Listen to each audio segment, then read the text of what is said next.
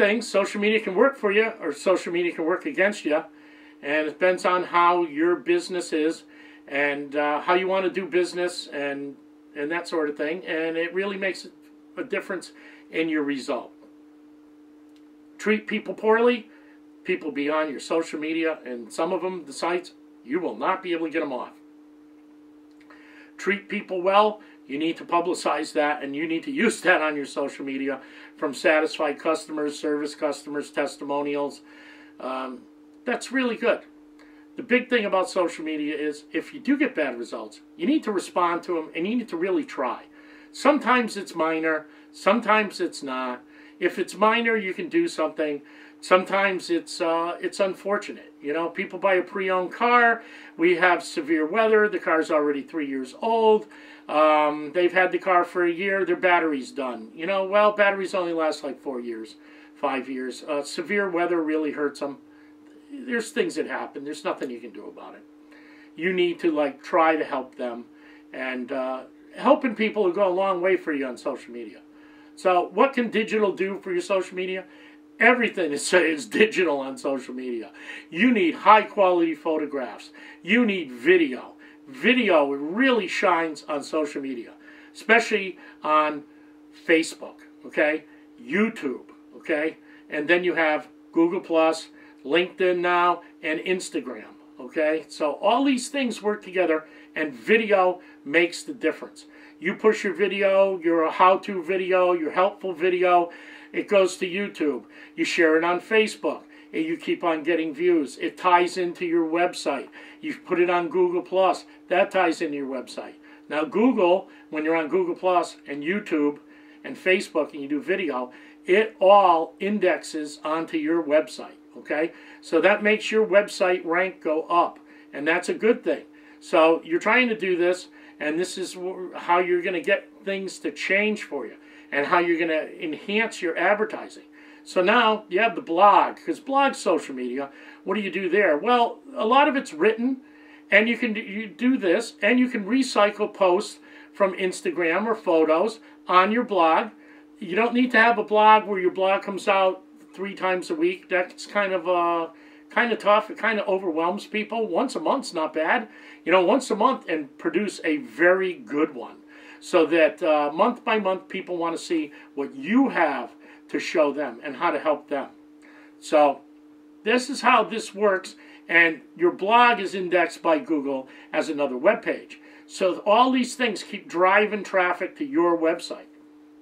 So that's all important and it makes a difference on your landing pages that you have good ones so that when people do go here or you do put a link in social media you bring them to where they need to be and without a lot of lot of hassle okay so now i'm going to show uh, an advertising social media event and we're going to say it's national hot dog week okay month okay it's national hot dog month okay i saw some blog posts about this three best hot dog places that are near boston toyota okay so what can you do? Well, this is what you can do. You can partner with the three hot dog places.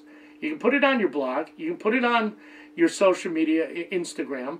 You can put it on your Facebook.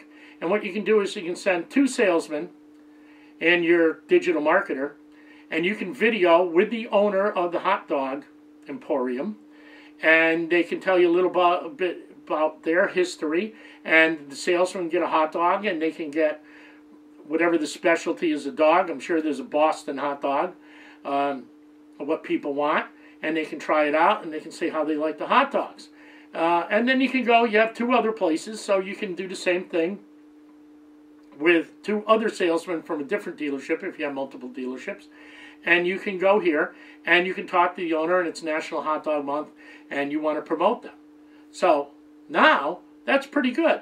So what you're asking, what else can I do? Well, this is what you can do. You can run a hot dog cart, okay? And three Saturdays in a row, you have the three different hot dog vendors. You pay for the hot dogs, you pay for the buns. They come and they and you rent the hot dog cart and they put their person in there and you give away hot dogs from Joe's Hot Dog Stand, best hot dog stand in Boston, okay? And you do this and you film this and you have people telling you how they like the hot dog um, have they been to joe's before And then you let them give their flyer, their information out. Your digital department or your graphics department builds a poster. It says, We're going to give free hot dogs from Joe's Hot Dogs. Okay? So now you're tying in your advertising with them.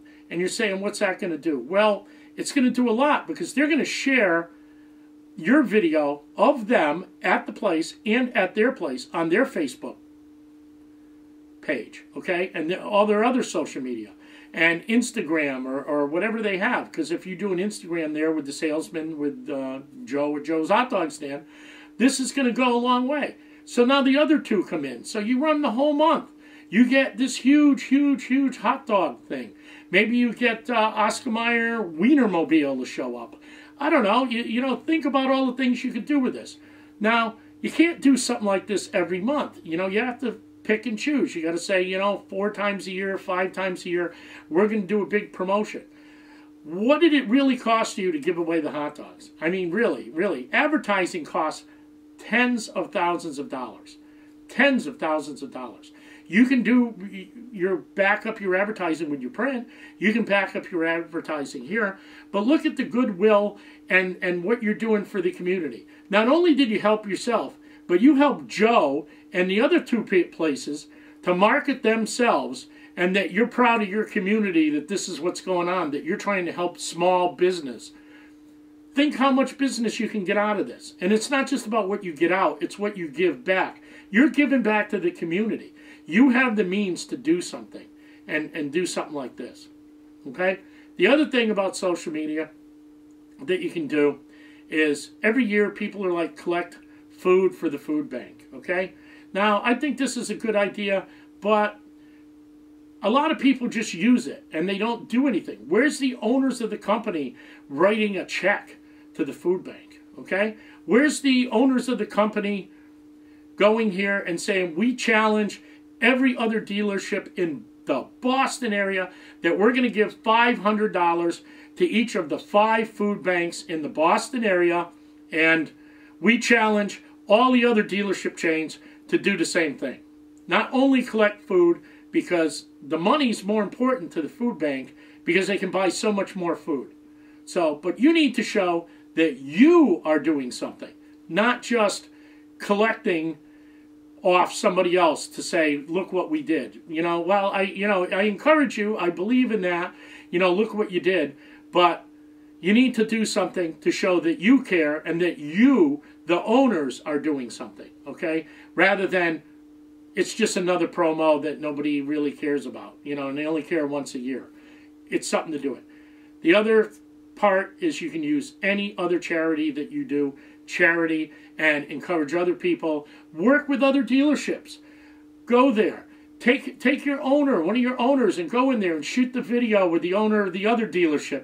Came in, and we're proud that we donated the five hundred dollars to each of the five food banks ourselves. We accepted your challenge.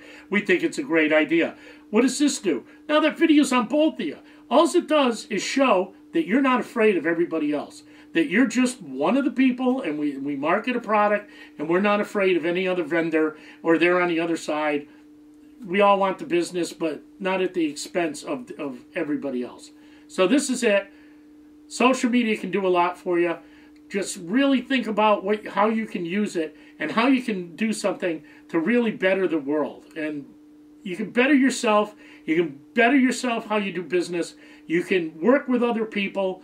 You can work with other businesses. And you can really do something special that really sets you apart and shows the real you in the company. Okay, stay tuned for the last one. We're going to have uh, the wrap up here. And uh, I think you're going to like it. I'm going to ask you a bunch of questions. We'll see how that works out. And I hope I've changed how you think about your business and how you do business.